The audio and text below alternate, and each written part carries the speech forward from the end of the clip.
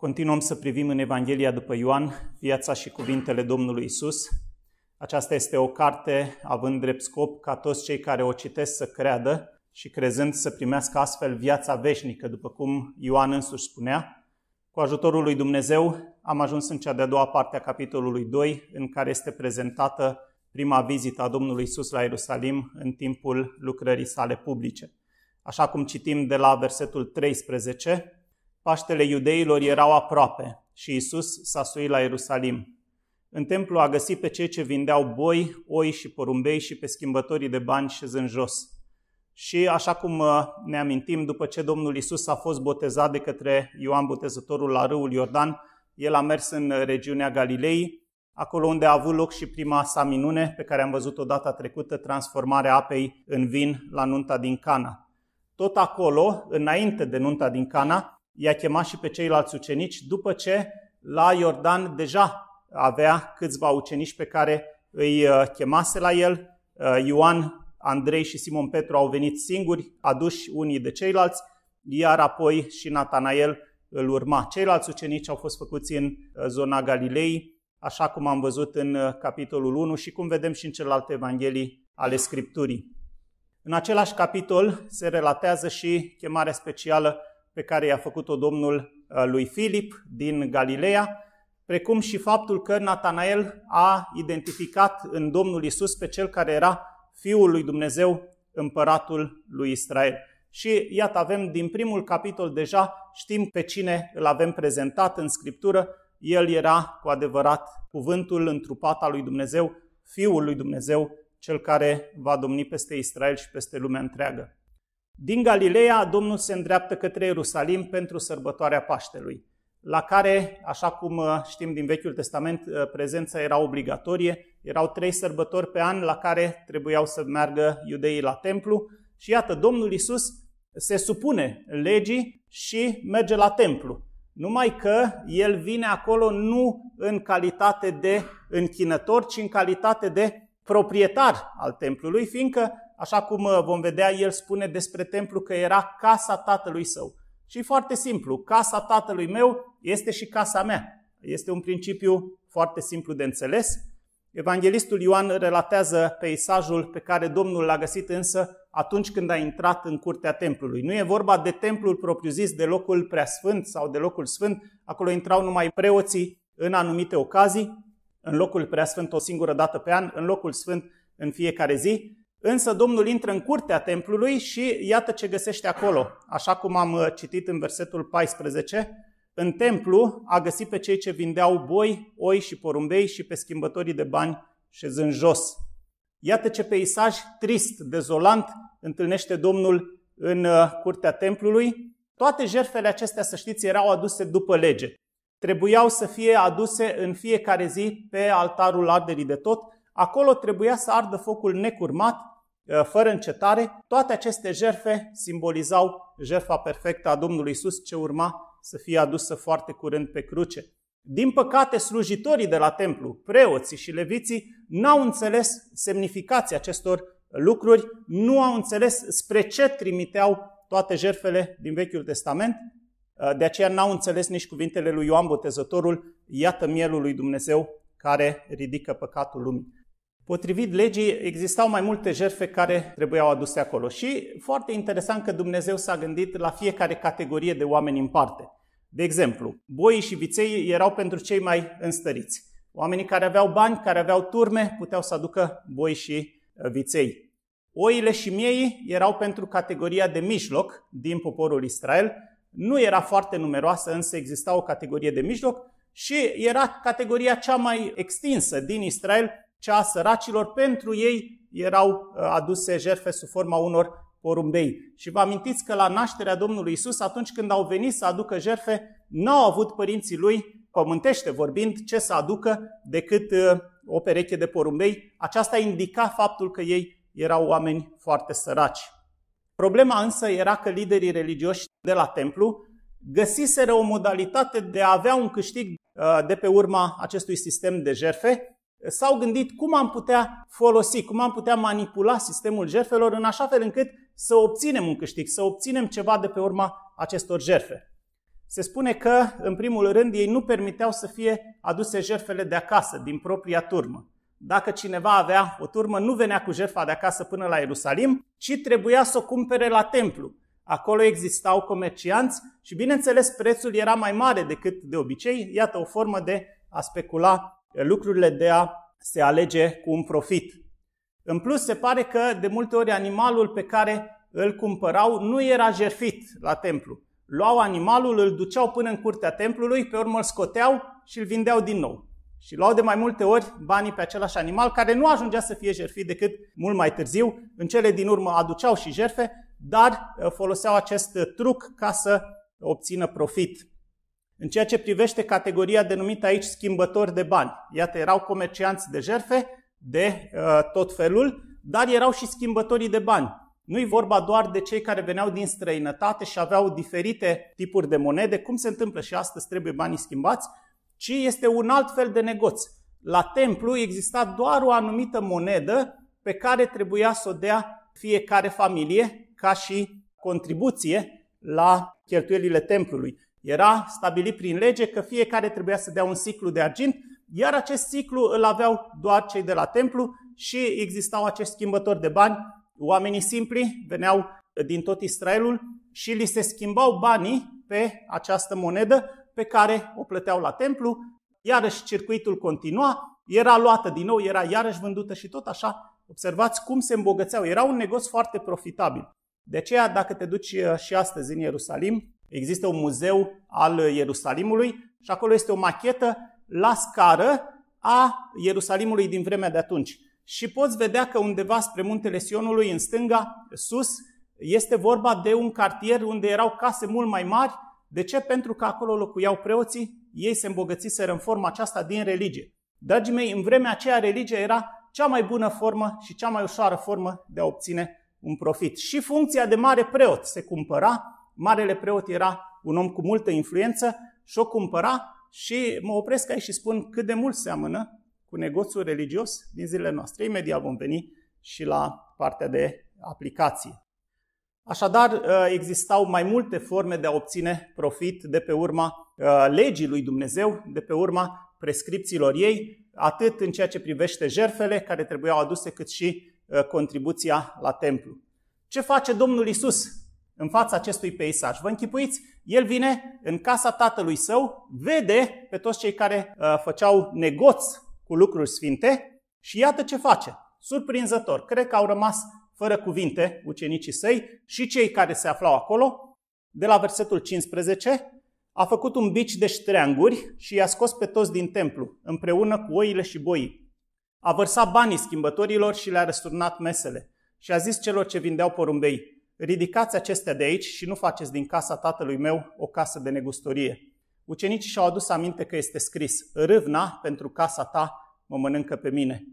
Așadar, Domnul vine plin de o mânie sfântă și face curățenie în curtea templului. Îi scoate afară, nu stă la discuție cu acești negustori de cea mai joasă uh, speță, ci ia o atitudine radicală. Și putem să avem imaginea aceasta înaintea ochilor. Uh, unii comentatori, de grijă să nu strice cumva imaginea Domnului, au spus că biciul pe care l-a făcut el a fost rotit doar în vânt. Personal nu cred că e vorba de așa ceva.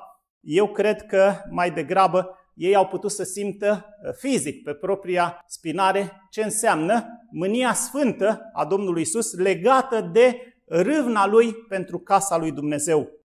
Uitați-vă de fapt și ce a făcut cu schimbătorii de bani. S-a dus și le-a răsturnat mesele. Nu doar i-a amenințat, nu le-a arătat cu degetul scoateți mesele de aici, pur și simplu închipuiți-vă pe Domnul Isus răsturnând mesele și învârtind biciul acesta de ștreanguri, făcând curățenie în casa tatălui său. Prin urmare, cred că unii au simțit la propriu ce înseamnă să păcătuiești împotriva lui Dumnezeu.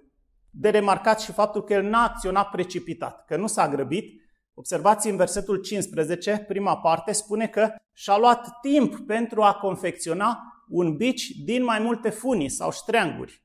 Nu s-a grăbit, nu a pus imediat mâna pe ce a apucat, n-a fost impulsiv, n-a fost dintr-o dată, și-a luat timp și a făcut acest bici din mai multe funii, literal. Traducerea în limba română spune de ștreanguri și a făcut acest bici și după aceea i-a scos și de remarcat cuvântul pe toți din templu. În mod sistematic, Domnul Isus a făcut curățenie completă în casa Tatălui. Și vreau din nou să spun adesea, uh, s-a reprezentat lucrul acesta și în filme și în alte imagini, ca și cum Domnul Isus doar două mese a răsturnat și a rotit biciul acela în aer. Nu, i-a scos pe toți din curtea templului. Nu s-a odihnit, n-a avut pace până n-a făcut curățenie totală. Și interesant că nimeni n-a avut nimic de replicat. Nimeni n-a avut nimic de spus din cei care se aflau acolo. Dragii mei, în toate acestea, Domnul Isus nu a păcătuit deloc. Știți că El a fost omul fără de păcat. Nu a fost vorba de niciun păcat pentru că El, repet, se afla în casa tatălui său și nimeni nu are voie să-mi facă mie curățenie în casă, doar eu sunt dator să fac curățenie în casa mea, în casa tatălui meu. El avea toată autoritatea să-i alunge pe acești profitori josnici, să-i scoată afară din locul care trebuia să fie un loc sfânt.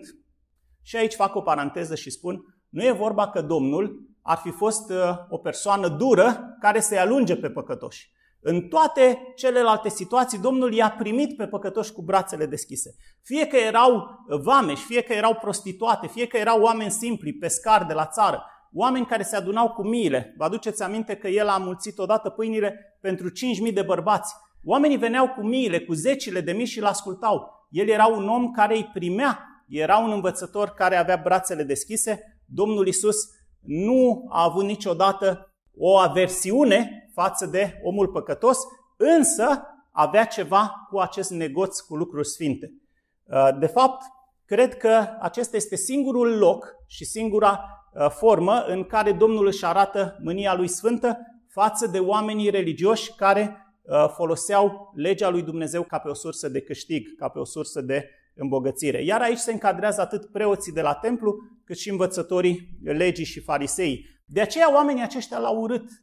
Putea să stea liniștit, să ignore, să se facă într-un fel că nu vede ce se întâmplă la templu, să treacă mai departe, să discute doar așa, uh, să zic, mai în șoaptă, Domnul și-a asumat riscul și din momentul acesta oamenii l-au urât, atât uh, preoții cât și ceilalți oameni religioși din Ierusalim. De asemenea, este clar arătat că și printre oamenii aceștia religioși exista câte unul care era sincer și pe acela Domnul îl primește. În capitolul următor, 3 din Evanghelia după Ioan, vom vedea că pe Nicodim Domnul îl primește la el. Și Nicodim era unul dintre acești oameni. Însă se pare că el era integru, cel puțin în privința aceasta, nu lua parte la negoțul acesta josnic. Oamenii aceștia, dragii mei, nu că n-ar fi putut să se pocăiască, însă ajunseseră la un stadiu de împietrire în care nu mai vedeau uh, starea lor și de aceea au ajuns în cele din urmă să ceară moartea Domnului Isus. Ei au fost cei care s-au revoltat și ei s-au dus la pila din pont ca să îi ceară pedeapsa cu moartea. Începând din acest moment, Iată, sunt doar câteva luni de când a început Domnul lucrarea sa publică și ei deja îl urau, deja căutau să-l omoare, fiindcă le strica negoțul lor religios. Și aici fac o primă aplicație și spun, când intră Evanghelia cu adevărat în viața unui om, de ce se revoltă oamenii religioși? Nu că le pasă lor de sufletul tău. În primul rând, fiindcă își pierd sursa de câștig. Revenind aici la curățirea templului făcută de către Domnul Isus, să nu uităm că Tatăl i-a dat toată autoritatea de a judeca și prin urmare și de a face curățenie. După cum el însuși a afirmat, Tatăl nici nu judecă pe nimeni, ci toată judecata a dat-o Fiului, pentru ca toți să cinstească pe Fiul cum cinstesc pe Tatăl. Toată judecata este dată Fiului. Prin urmare, el avea toată autoritatea să facă acolo curățenie în locul care trebuia să fie sfânt, un loc de închinare înaintea lui Dumnezeu. De aceea trebuie să înțelegem că Domnul și-a luat locul lui de judecător în acest moment, cel puțin pentru scurtă vreme, și în această calitate de judecător pe care a primit-o din partea Tatălui, i-a alungat din casa lui pe comercianții religioși, pe cei care erau în slujba conducătorilor de la templu. În plus, el însuși a afirmat că practic se afla în casa lui, versetul 16, și a zis celor ce vindeau porumbei, ridicați acestea de aici și nu faceți din casa tatălui meu o casă de negustorie. Eu sunt acasă aici, e casa tatălui meu, e casa mea. Prin urmare, am tot dreptul să fac aceste lucruri. Ioan precizează în acest punct și faptul că ucenicii au ajuns să înțeleagă ce s-a petrecut în fața ochilor lor plini de uimire. A fost vorba de împlinirea unor cuvinte profetice aflate în Psalmul 69. Căci râvna casei tale mă mănâncă și ocările celor ce te ocărăsc pe tine cad asupra mea. Dragii mei, Domnul Isus în toată viața lui n-a făcut nimic fără voia Tatălui. Și în toată lucrarea sa publică a împlinit nenumărate profeții din Vechiul Testament. Una dintre profeții era aceasta, el va fi plin de râvnă pentru casa tatălui său. Iată s-a împlinit în locul acesta. De fapt, nu doar acum Domnul Isus reacționează în acest mod și ar trebui să ținem minte că lucrarea sa publică la Ierusalim a început cu această curățenie făcută în templu și s-a sfârșit tot la Ierusalim, trei ani mai târziu, cu același lucru. În săptămâna aceea, înainte să fie arestat și răstignit, Domnul Isus face același lucru, face curățenie în casa tatălui său. Și acum la primul Paște și la al treilea Paște, în ziua de duminică, în ziua când a intrat triumfal în Ierusalim, primul lucru pe care îl face se duce în casa tatălui și din nou face curățenie. Așadar, în mod repetat, vă dați seama, aceea a fost picătura care a umplut paharul. Din momentul acela au luat decizia că trebuie să se grăbească să-l ucidă, că nu mai este timp să tolereze atitudinile sale. Este ușor de înțeles, așadar, toată ura pe care o aveau conducătorii aceștia religioși față de Domnul și de data aceasta, la prima curățenie făcută în templu, nu au putut să pună mâna pe el, nu au putut să-l aresteze, fiindcă se temeau de mulțimi, însă i-au contestat autoritatea. Așa cum citim la versetul 18, iudeii au luat cuvântul și i-au zis, prin ce semn ne arăți că ai putere să faci astfel de lucruri? Cu alte cuvinte, ce autoritate ai tu? Cine te crezi tu că ești să faci curățenie în templul lui Dumnezeu? Tu nu ești nici preot, nu ești din familie preoțească, nu ești nici levit, nu te-am văzut pe aici. Știți, în vechime, mari proroci ai lui Dumnezeu, atât Isaia cât și Ieremia și Ezechiel erau din familii preoțești. Tu nu ești preot, tu nu ești nimic, n-ai nicio autoritate ca să faci tu curățenie în templu. Cine te crezi tu ca să ne strigi nouă tot comerțul acesta? Și, dragii mei, repet, ar fi fost foarte simplu să-și dea seama, după cuvintele sale, faptul că el a spus, sunt în casa tatălui meu, ei ar fi trebuit să deducă din cuvintele sale că era Fiul lui Dumnezeu. Cine era stăpânul casei? Nu marele preot, ci Domnul Dumnezeu însuși. Prin urmare, el spunea că este Fiul lui Dumnezeu. Le dăduse deja răspunsul încă dinainte. Și ar fi putut și ei să ajungă la această concluzie. Tu ești împăratul lui Israel, tu ești Fiul lui Dumnezeu, așa cum afirmase Natanael mai înainte. Așadar, nu doar ca fiul al lui Dumnezeu avea el autoritate, ci și ca împărat al lui Israel. Pentru că împărații din vechime aveau nu doar autoritatea să facă în templu curățenie, ci chiar datoria să facă lucrul acesta. De ce?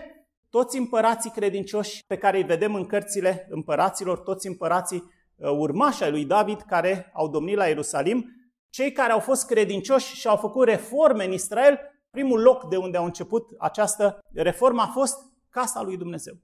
În vechime fuseseră împărați care făcuseră același lucru, începuseră uh, restaurarea spirituală a lui Israel de la casa tatălui. De acolo se pornește. De acolo începe trezirea, de la casa lui Dumnezeu. De acolo începe restaurarea vieții și a relației cu Dumnezeu. Începând cu Asa și Iosafat și terminând cu Ezechia și Iosia. Știți că am privit în cărțile împăraților, încă mai avem de vorbit din acel loc. Sunt împărații lui Israel care au făcut acest lucru. Iată doar un text uh, pe care îl găsim scris despre curățirea templului din vremea lui Ezechia. În anul întâi al domniei lui, în luna întâi, a deschis ușile casei Domnului și le-a adres. A adus pe preoți și pe leviți pe care i-a strâns în locul deschis dinspre răsărit și le-a zis Ascultați-mă, leviților, acum sfințiți-vă, sfințiți casa Domnului Dumnezeului părinților voștri și scoateți afară din sfântul locaș ce este necurat. Scoateți afară ce este necurat. Comerțul acesta ă, josnic era necurat. El ce face practic în calitate de împărat al lui Israel? Face curățenie în locul sfânt. De acolo trebuia să pornească pocăința lui Israel. Iar ei, dacă ar fi primit mesajul Evangheliei, ar fi trebuit să se supună și să înțeleagă faptul că din nou Dumnezeu îi cerceta, că se ridicase un nou împărat în Israel, Mesia cel promis, și că primul lucru care trebuia făcut era restabilirea închinării la templu. Din păcate, n-au înțeles nimic. Mai grav decât atât, au ajuns să-l urască, repet, pentru că le strica afacerile religioase, de pe urma cărora nu doar că duceau o viață ușoară, ci chiar se îmbogățiseră foarte mult. Lucrul acesta i-a dus la decizia de a căuta condamnarea sa la moarte, nu grija pentru credința lor strămoșească, ci faptul că le era amenințată viața aceasta ușoară, profitul pe care îl aveau în urma negoțului religios care avea centrul la templu. La întrebarea pe care i-au adresat-o, cine ești tu, cu ce autoritate faci lucrurile acestea, Domnul nu le spune deschis cine era el și nici cu ce autoritate face aceste lucruri, ci le adresează câteva cuvinte, tot cu înțeles spiritual, cu înțeles duhovnicesc, nici pe acestea nu le-au înțeles. Iată ce spune el. Drept răspuns, Iisus le-a zis, stricați templul acesta și în trei zile îl voi ridica.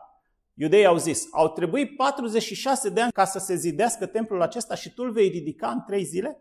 Ei au luat-o firește. S-au gândit că era vorba de templul acela și îi aduc aminte Domnului că a fost uh, făcut în 46 de ani. Au luat uh, cuvintele la propriu, n-au înțeles nimic. Templul acela pe care uh, îl aveau evreii în vremea Domnului Isus era numit și templul lui Irod, așa numitul Irod cel Mare, cel care a ordonat uciderea pruncilor din Betleem.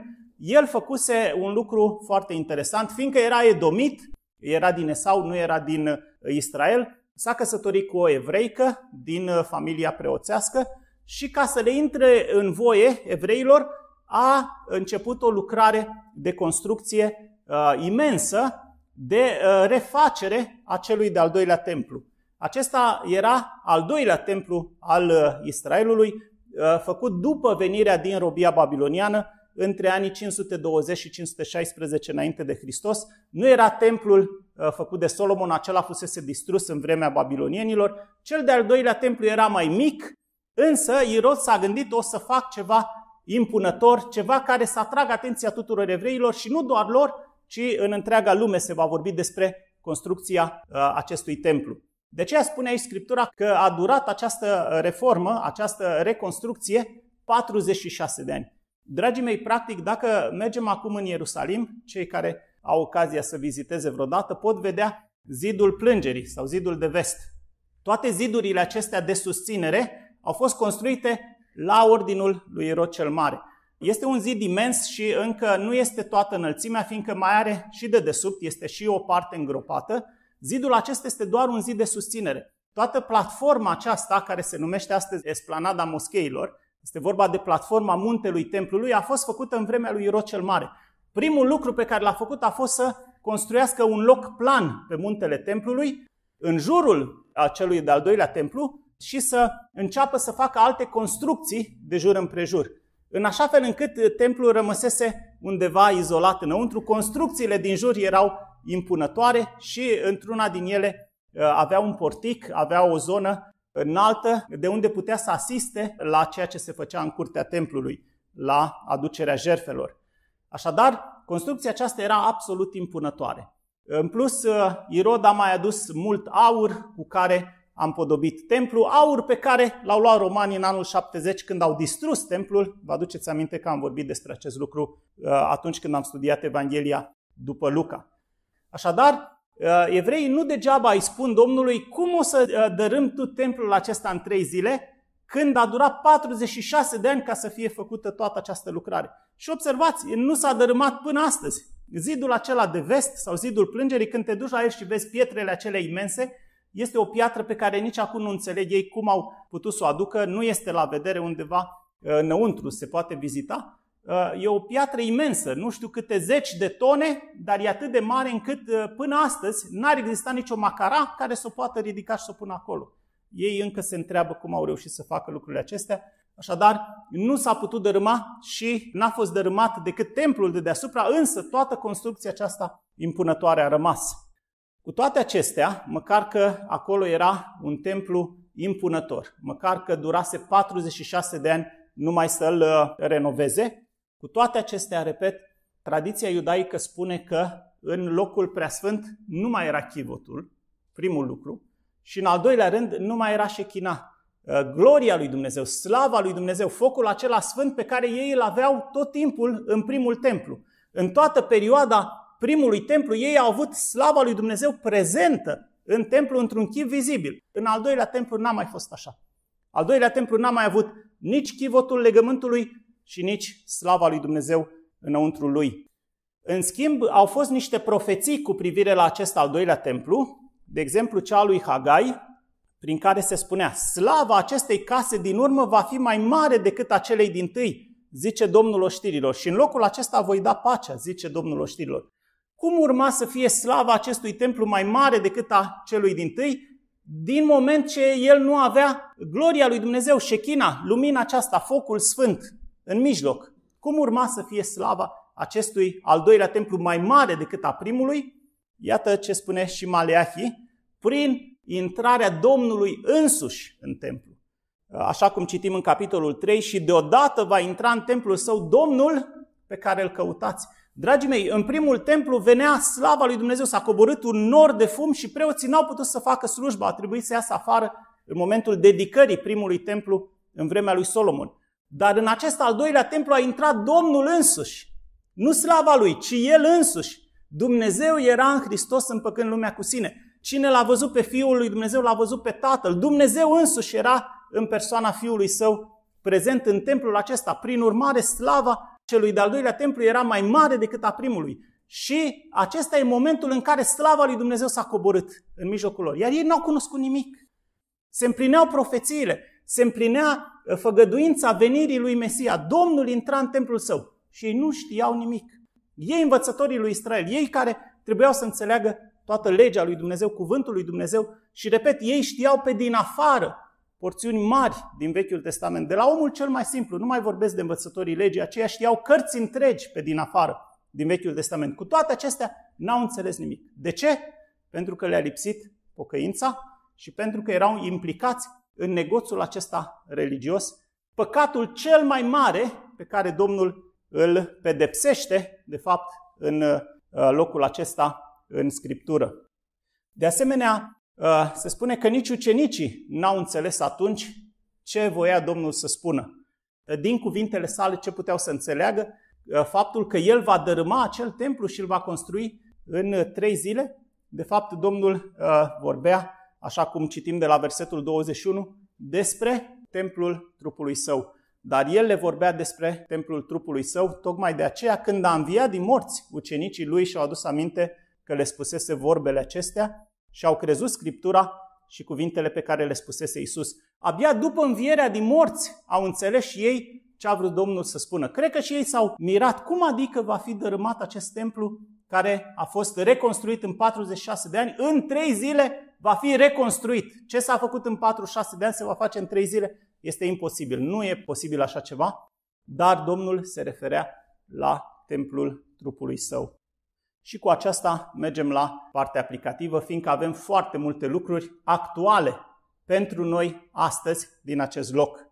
În primul rând, trebuie să reținem că negoțul cu lucruri sfinte este păcatul cel mai aspru condamnat de Domnul. Întotdeauna Domnul se delimitează față de orice păcat, condamnă păcatul și îi primește pe păcătoși. Însă de data aceasta, iată, face judecată în casa lui, face curățenie. De ce? Fiindcă acesta este păcatul cel mai grav înaintea lui Dumnezeu. Să folosești cuvintele sale, să folosești chemarea lui la sfințenie, credința adevărată, religia revelată, ca tu să faci din asta o sursă de câștig, să te îmbogățești de pe urma religiei. Lucrul acesta, dragii mei, s-a întâmplat în toată istoria bisericii. Dacă vă uitați și studiați un pic uh, istoria bisericii, veți vedea că, începând cam cu anul 500, după uh, perioada bisericii primare, uh, biserica creștină s-a transformat într-o afacere profitabilă. Episcopii, arhiepiscopii, cardinalii, papa de la Roma, conducătorii din Biserica Răsăritului au devenit oameni extrem de bogați, fiindcă biserica a devenit extrem de bogată. De ce? Fiindcă a început să practice tocmai ceea ce Domnul condamnase cel mai mult, negoțul cu lucruri sfinte. În evul mediu, fiecare nobil mai important din Europa avea la curtea lui o mulțime de relicve. Și din când în când mai făcea câte o sărbătoare pentru ca oamenii să vină din toate părțile și să vadă acolo capul lui Ioan Botezătorul sau cine știe ce altă relicvă, alte lucruri. Îi atrăgeau pe oameni și câștigau de pe urma acestui lucru, fiindcă oamenii veneau acolo, stăteau câte trei zile, cheltuiau, dădeau niște taxe uh, și îl îmbogățeau pe nobilul din acea zonă. Era o afacere uh, înțeleasă între biserică și nobilul dintr-o regiune. Ambele părți aveau de câștigat. Împotriva acestui lucru s-a ridicat Martin Luther și știți că am vorbit în tezele pentru reforma bisericii, cum s-a ridicat unul din biserica catolică, chiar Martin Luther, un călugăr uh, erudit, un călugăr foarte instruit în uh, Sfintele Scripturi, în cunoașterea limbilor antice, el s-a ridicat împotriva acestui negoț josnic, ca și împotriva vânzării de iertare sau de indulgențe pe bani. Practic se spunea, uh, cine poate plăti, primește o scrisoare semnată de către Papa din Roma, prin care poate să obțină iertare și pentru el, dar și pentru părinții lui morți sau pentru alte rude și îi poate scoate sufletul acelei rude din locuința morților sau din uh, purgatoriu. Îl poate trimite în cer. Cu asta se îmbogățeau. Până acolo au ajuns, dragii mei.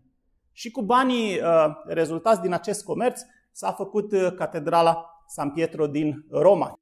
Catedrala aceea a fost făcută cu banii uh, câștigați de pe urma negoțului de indulgențe.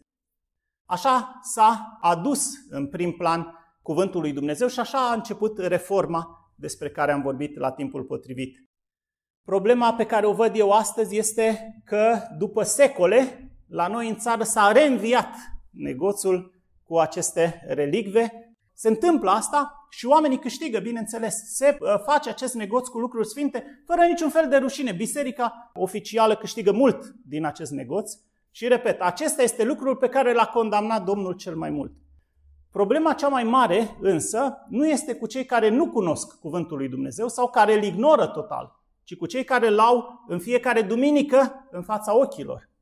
Problema este când și cea care se numește astăzi Casa lui Dumnezeu sau Biserica Domnului ajunge să fie un loc de negoț cu lucruri sfinte. Astăzi biserica nu mai este o clădire, ci este alcătuită din oameni, din pietre vii. Spunea Apostolul Pavel, în el toată clădirea, bine închegată, crește ca să fie un templu sfânt în Domnul. Care este templul lui Dumnezeu de astăzi?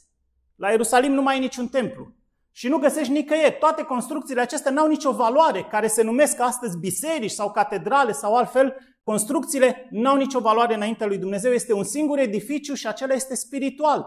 Iată, toată clădirea bine închegată crește ca să fie un templu sfânt în Domnul și prin el și voi sunteți zidiți împreună ca să fiți un locaș al lui Dumnezeu prin Duhul. Noi suntem pietre vii într-un edificiu spiritual. Biserica din toată lumea este văzută ca un templu al Duhului Sfânt și de asemenea biserica locală. Cum trebuie să fie acest templu? Așa cum este Dumnezeu. Voi să-mi faceți un locaș sfânt și eu voi locui în mijlocul vostru. Dragii mei, Dumnezeu nu s-a abătut niciodată de la regula sfințeniei. Dacă nu e un locaș sfânt, el nu se coboară. În locul în care se face comerț cu lucruri sfinte, în locul în care se obține un profit de pe urma religiei, nu are uh, Domnul cum să își lase Duhul lui cel Sfânt.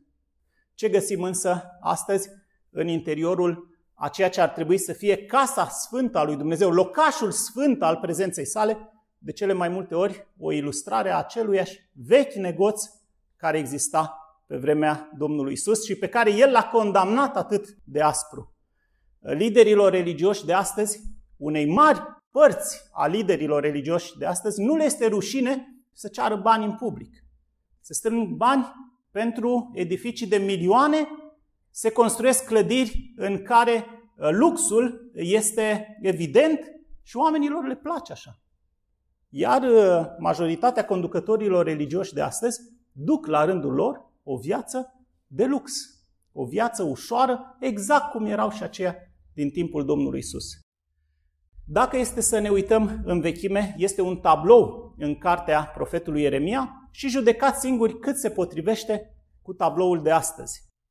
Înțelepții sunt dați de rușine, sunt uimiți, sunt prinși, căci au nesocotit cuvântul Domnului. Și ce înțelepciune au ei?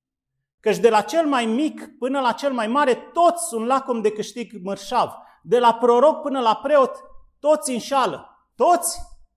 De la proroc până la preot. Toți sunt lacom de câștig mărșav. Leagă în chipul șuratic rana fiicei poporului meu zicând, pace, pace, totul e bine, toți sunteți mântuiți, toți veți merge în cer. Nu e nicio problemă că mai faceți câte un lucru neîngăduit, că este amestec cu lumea, că facem aici show, nu, nicio problemă, mergeți în cer, sigur. Iată, leagă în chipul șuratic rana poporului meu zicând pace, pace. Și totuși, pace nu este. Vor fi dați de rușine. Când va veni Domnul, foarte curând, căci săvârșesc astfel de urăciuni. Nu roșesc și nu știu de rușine. De aceea vor cădea împreună cu cei ce cad și vor fi răsturnați când îi voi pedepsi, zice Domnul. Iată, tabloul din vremea lui Ieremia este același cu acela pe care l-a găsit Domnul în vremea lui și cu cel pe care îl va găsi la revenirea sa. Cu o mică excepție, cu o rămășiță sfântă care este tot mai mică, în rest lucrurile stau așa. Nu e nicio problemă să cer bani, nu e nicio problemă, avem nevoie de construcție, avem nevoie de investiții. Oamenii n-au nicio sfială să facă lucrul acesta duminică de duminică. Nu roșesc și nu știu de rușine. Ar fi multe de spus la acest capitol, iar dacă Domnul ar fi astăzi în lucrarea sa publică pe pământ, cred că ar pune biciul pe mulți dintre acești oameni care au totuși nerușinarea să se numească slujitori ai Domnului. Unii mai fac lucrul acesta și pe internet. Sunt tot feluri de materiale care de desubt ce îți sare în ochi, mai multe feluri în care poți dona. Încă un text din cartea lui Ieremia. Să nu pedepsesc eu aceste lucruri, zice Domnul. Să nu-mi răzbun eu pe un asemenea popor? Grozave lucruri, urăcioase lucruri se fac în țară. Prorocii prorocesc neadevăruri. Preoții stăpânesc cu ajutorul lor. Și poporului meu îi plac aceste lucruri. Dar ce veți face la urmă? La urmă, când va veni Domnul. Ei fac așa, poporului îi place, s-au obișnuit așa, nu e nicio problemă. Ce veți face la urmă? Aceasta e întrebarea cuvântului lui Dumnezeu.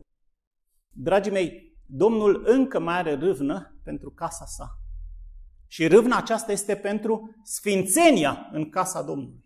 Nu are ce căuta mamona în casa lui Dumnezeu. Lucrurile trebuie făcute în ascuns și să știți, Domnul nu are ca principiu ceva împotriva uh, faptului că ar putea cineva să ajute uh, financiar lucrarea. Însă lucrul acesta trebuie făcut în ascuns. Vă aduceți aminte că la un moment dat este cu cenicii și vede pe mulți care aruncau acolo în visteria templului mulți bani și vine și o văduvă și aruncă doi bănuți și spune Domnul, ea a dat mai mult decât toți aceștia, fiindcă a dat ce mai avea ca să trăiască. Sigur, este vorba de un lucru spiritual, de un lucru duhovnicesc. Însă, lucrarea aceasta, repet, se face pe principiu să nu știe stânga ce face dreapta și niciodată, absolut niciodată, niciun lider al unei biserici nu are dreptul, din poziția în care se află, să ceară contribuții financiare. Dacă este vorba de susținerea lucrării lui Dumnezeu, autenticei lucrări a lui Dumnezeu, el scoate nascuns oameni care vor face lucrul acesta. Fără să bată toba, fără să se vadă, fără să se știe, ei o fac înaintea lui Dumnezeu și primesc răsplată de la Dumnezeu. Totul este pentru slava lui Dumnezeu.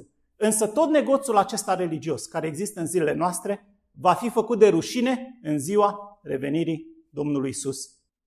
Lucrarea lui Dumnezeu se va susține în continuare prin oameni dedicați lui, oameni care s-au dat mai întâi pe ei înșiși lui Dumnezeu și apoi au dat și ce aveau pentru ajutarea săracilor și pentru alte lucruri de care era nevoie și este nevoie în Biserica Domnului.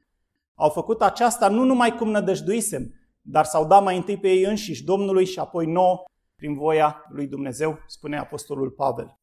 A doua aplicație și al doilea sens spiritual nu mai ține de Biserica Domnului ca templu, ci de fiecare dintre noi înșine, care, la rândul nostru, trebuie să fim un templu al Duhului Sfânt.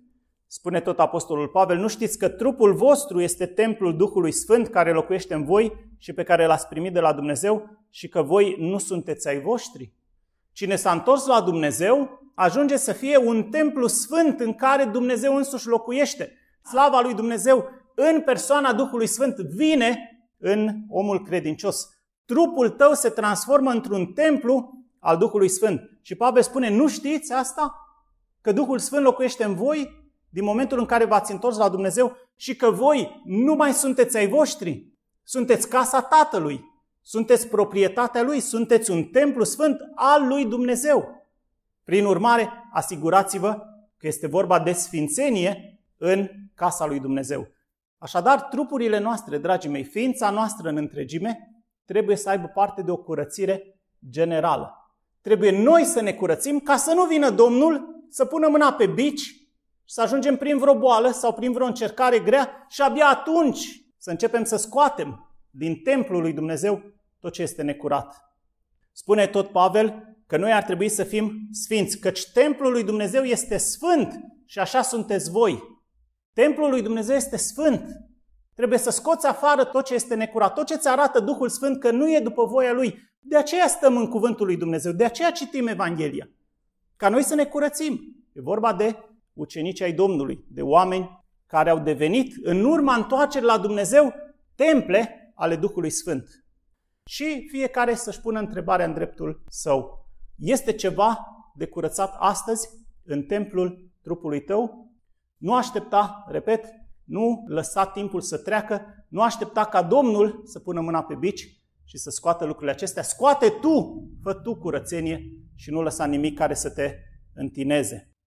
De aceea spune în uh, a doua Timotei că dacă noi ne curățăm de lucrurile acestea murdare, pe care lumea caută să le pună în interiorul nostru, pe care cel rău vrea să le aducă în mintea noastră și în viața noastră, atunci cu adevărat Duhul Sfânt va fi revărsat și vom fi plini de Duhul.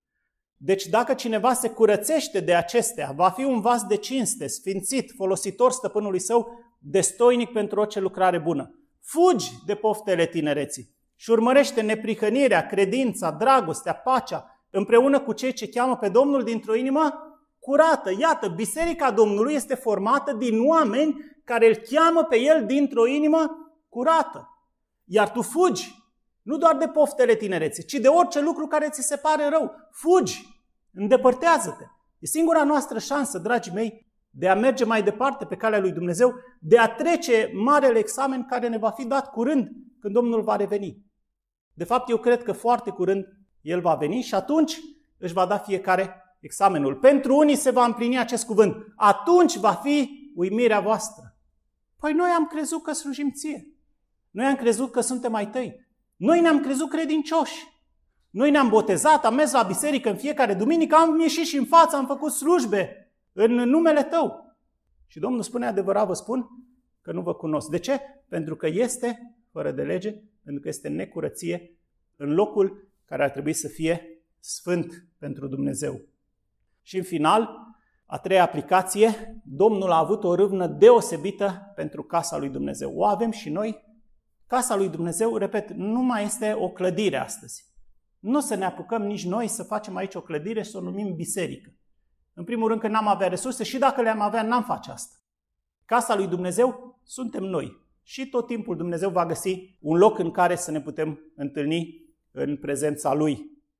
Suntem însă și noi plini de râvna aceasta pe care o avea Domnul pentru casa Lui.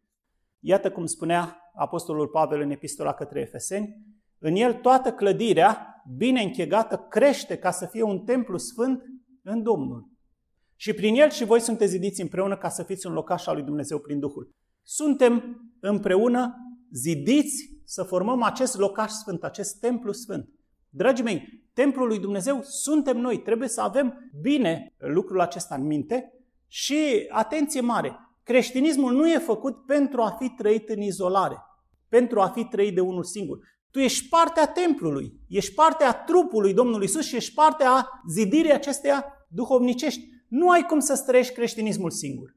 Oricât de mare prigoană ar fi, oricât de multe lucruri va trebui să înfrunți, tu trebuie să fii împreună cu cei din casa lui Dumnezeu. Ai râvna aceasta pentru casa lui Dumnezeu, pentru biserica lui, pentru adunarea oamenilor sfinți. Cei care îl caută pe Domnul îl cheamă dintr-o inimă curată.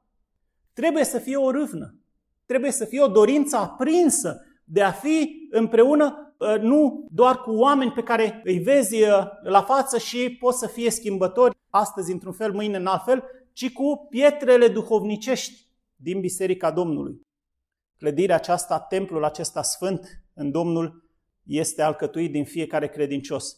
Toate aceste lucruri, spune aici Pavel, se fac prin Duhul. Suntem clădiți ca să fim un locaș sfânt prin Duhul. Fraților, în mijlocul adunării lui Dumnezeu, Duhul Sfânt se coboară. Și El lucrează, El zidește biserica sa. El o întărește. O piatră singură nu înseamnă că acolo este un templu.